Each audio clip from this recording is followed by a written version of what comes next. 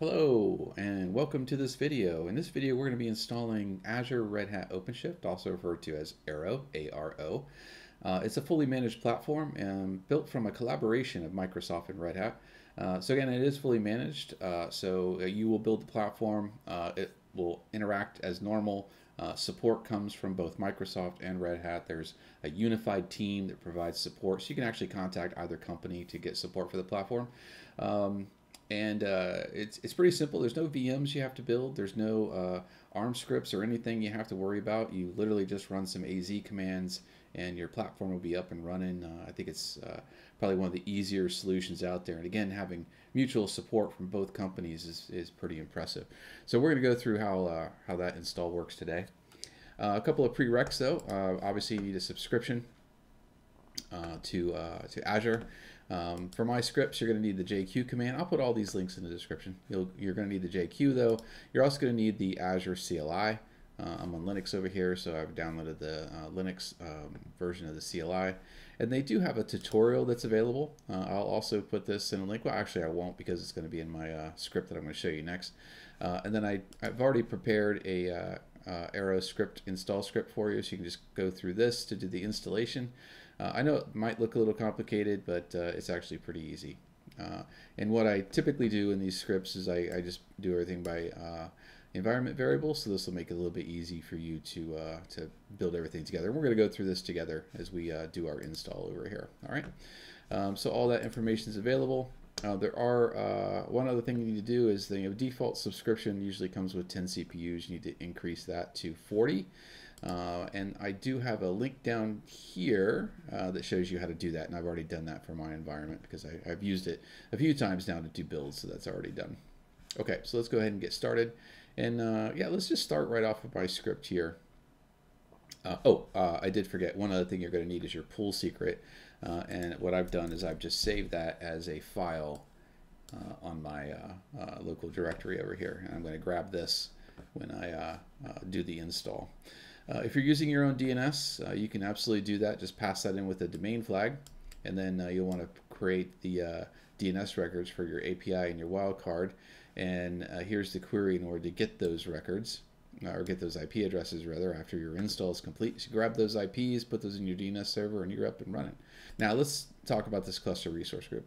Now when you do the build, what's going to happen is it's going to build a OpenShift type and it's going to land that uh, uh, you'll see an OpenShift type in this resource group uh, and it'll, it'll associate itself to your cluster name and it will then dynamically create a cluster resource group that all of your artifacts uh, objects will be installed inside of so we'll spin up this dynamic uh, cluster all right or cluster resource group now if you uh, want to give it a specific name, uh, which is what I'm doing here, uh, you can. There's a flag that just says, you know, cluster resource group, and then uh, associate a cluster name to it. So that gives you a resource group, gives you a cluster resource group with the artifacts installed. So this is sort of a pointer to this one, and then um, you know everything else. So the, the nice thing about doing that is if you go back, because we're, we're pre-creating all this, you do not create the cluster resource group. It will do that for you. Uh, so when you, because you're pre-creating the resource group and uh, all your networking, when you delete the cluster, all of this stuff remains. Uh, the cluster resource group, the dynamic objects will all be removed, but your resource group and all your networking uh, will remain. Uh, so that makes it convenient to spin it up, test it out, and uh, drop it without affecting anything else in your network. Okay, so let's go ahead and we'll create our resource group first. And we could do that from um, command line. Um, and I think I've got that, yeah, I've got that down here. So we're just gonna work through um, creating all these objects from the AZ command uh, instead of through the UI. uh, and I think I've already, I'm already on my uh, subscription, but if not, you can set your subscription here. And we need to apply all these uh, we need to register uh, these things with our subscription. So let's copy those out and we'll provide all that here. I apologize, I should have cleared my screen first. I'll clear that. All right, now uh, let's go ahead and create our resource group. I'm going to uh, export my resource group. Okay, so we'll do uh, cluster resource group. Let's say OCP dude RG. And then our cluster resource group could be OCP dude cluster resource group. And then our cluster name, and we'll say OCP demo. And then our network uh, resource group,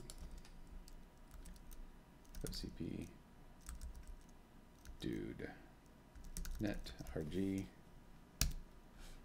and our VNet. Uh, OCP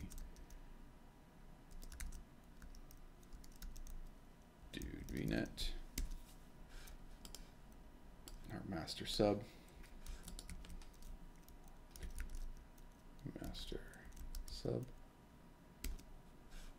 Our worker subnet. Worker sub.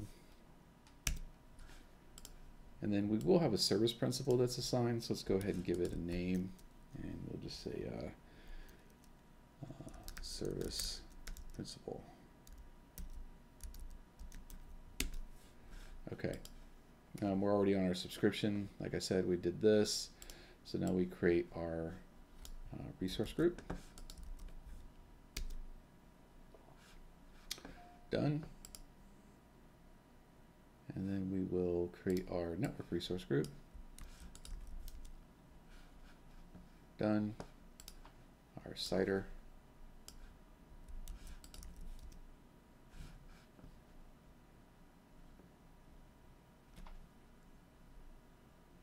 Okay, and then we'll configure our networking, create our subnets.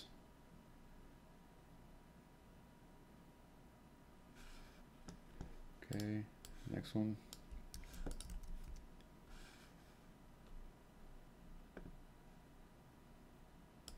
Okay, disable our private links.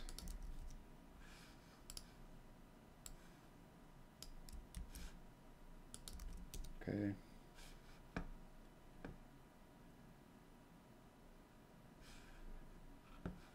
All right, and then this one here, we're going to assign our SP to our scopes for our subscription uh, and those subscription resource groups. So, I have to get here.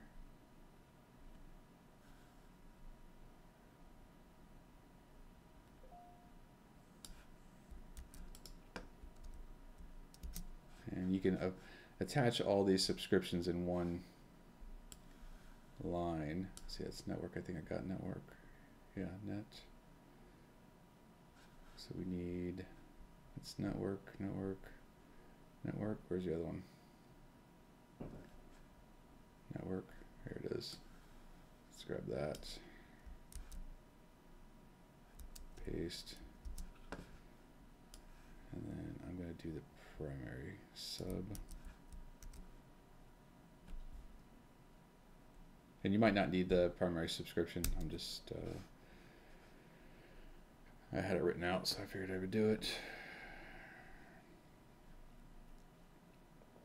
All right, so that looks like the subscription, resource groups. Okay, and then we'll do the same thing, but we'll uh, assign the uh, administrator access, user administrator access.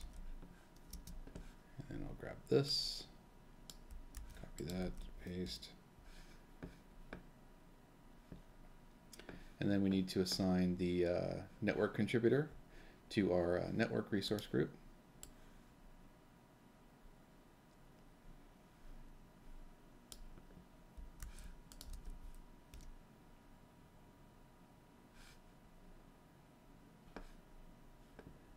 Okay, and then uh, we will grab our service principal, store that as a file. Okay, and then we can export our uh, app ID and password. And let's just check that. Okay. And then we are ready to go, ready to create. Now, like I said, I've already got my pull secret stored locally, so it's just going to grab it from the local file system and we should be good. All right, let's paste that in there. And this will take about hmm, 45 minutes uh, to build everything, and then we can come back and check it. Next steps would be to uh, fetch our console and our admin password, and then uh, we can either access it through the console or through the uh, CLI. The only difference really between um, doing an ARO install and uh, doing um, like IPI or something on, on Azure is uh, you don't provision VMs. So they're all going to be managed behind the scenes for you. You don't have anything to worry about. You're just laying down uh, an ARO cluster uh, on top of Azure, and uh, they'll take care of everything else. Okay, so I'll see you in, uh, I don't know, 30, 45 minutes whenever this gets finished. Okay, looks like our install is finished. Let's go check things out. Uh, where's Azure? Here we go. Home, resource groups. All right, there's our resource groups, pardon me, and we'll look at uh, our primary resource group here. And you can see the AC uh, uh, OCP demo, uh, which is a OpenShift cluster type. And that should be now in our uh, cluster resource group with all of our, yep, with all of our objects. So that's all been installed there. And then our network under here. Here's our VNet. And uh, obviously our two subnets are provisioned. We have all of our resources here. And the subnets right there. It's all done. Uh, okay, great. Let's uh, go to the next step, which is to grab our credentials.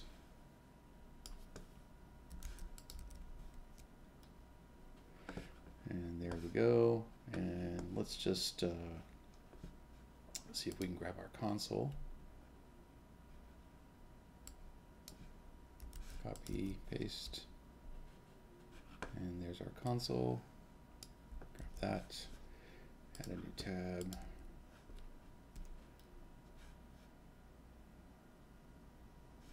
Okay. And our password. And this is kubeadmin. Password.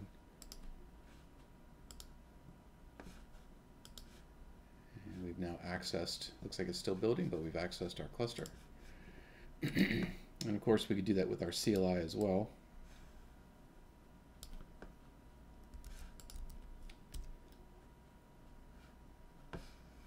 And log in with our API server, kubeadmin, and then our password. Copy, paste.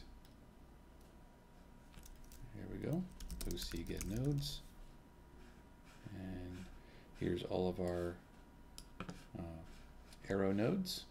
And that's it. We've got a nice new cluster built on ARO, which is, uh, again, a fully supported cluster from the collaboration of Microsoft and uh, Red Hat. So uh, yeah, that's pretty easy. All right, so that's it. Oh, uh, I will show you removing it too. Um, so let's go to this yeah, right here. If you want to delete your cluster, we can just run this string that's going to delete everything.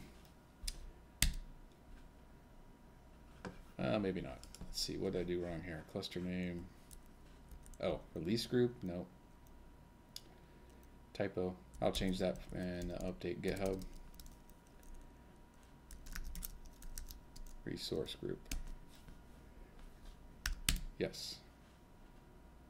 Great, that'll tear everything down.